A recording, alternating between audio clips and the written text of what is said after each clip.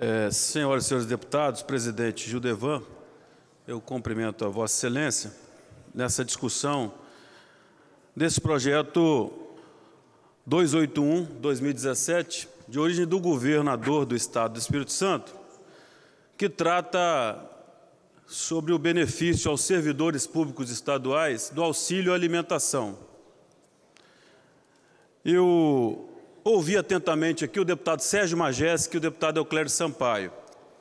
Várias emendas foram sugeridas, inclusive a, nossa emenda. O deputado Sérgio Majestic trouxe aqui um questionamento sobre a carga horária dos servidores do governo do Estado, que são diferentes. Nenhum outro poder se paga o auxílio alimentação no valor diferente. Por que que no governo do Estado, que está agora, depois de uma luta de três anos, que o governador foi condenado, ele foi condenado a pagar este direito dos servidores públicos.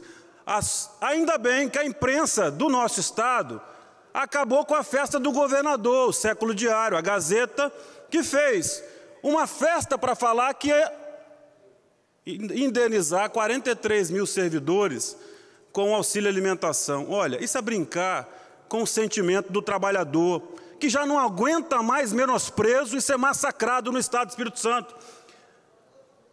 O governador anda pelo Estado afora anunciando que fez o ajuste fiscal. Precisava, pelo menos, deputado Torico Ferraz, de humildade porque Vossa Excelência presidiu essa casa, Vossa Excelência conversou comigo, teve o meu voto. Isso foi uma ação em conjunto do Estado do Espírito Santo. Ninguém sozinho consegue resolver as questões da Assembleia, foi parte. Hoje tem pouco dinheiro, mas teria reajuste fiscal. Nós teria, com reajuste fiscal, no mínimo, que cumprisse a Constituição e dessa reposição salarial das perdas inflacionárias. Agora vem com uma obrigação que não cumpriu lá atrás, que há 20 anos é 136 reais. Olha, aqui na Assembleia é R$ 1.036. Agora vai para 220, a 176 reais. Alguns vão receber menos de 150. Mas alguém tem que lembrar que tem uma emenda minha que foi rejeitada, que é uma discussão técnica, que não foi nem lida nem debatida, que a incidência sobre o INSS, deputado Teodorico Ferraço, e sobre o imposto de renda vai acontecer. A minha emenda inseria a segurança de não ter esse desconto aos, aos poucos recursos de 220 reais. Como que consegue, como bem disse o deputado Euclério Sampaio, almoçar com 10 reais? Olha, nós vimos aí muitos investimentos que nós temos apoiado o governo do Estado a dar condições aos nossos produtores rurais com barragens, mas não dá para o governo ficar visitando periodicamente uma barragem sem entregar, com 10, 20, 30 carros do governo do estado acompanhando o helicóptero do governador. Só isso aí, com gasolina, com servidores, já é muito mais do que pagar mil servidores um ticket desse, gente. Nós temos que priorizar o pouco dinheiro que tem. E se acham que o servidor público estadual é bobo, mas está errando de monte, porque não tem mais ticket, não tem mais abono, que vai fazer diferença na eleição do ano que vem, não. Não tem. Se o governador quer ganhar a simpatia dos nossos servidores, ele só precisa de uma coisa. Só uma coisa: respeito. Respeito. Não adianta mandar emenda para cá combinada com o deputado. Não adianta fazer festa e anunciar que vai dar o benefício.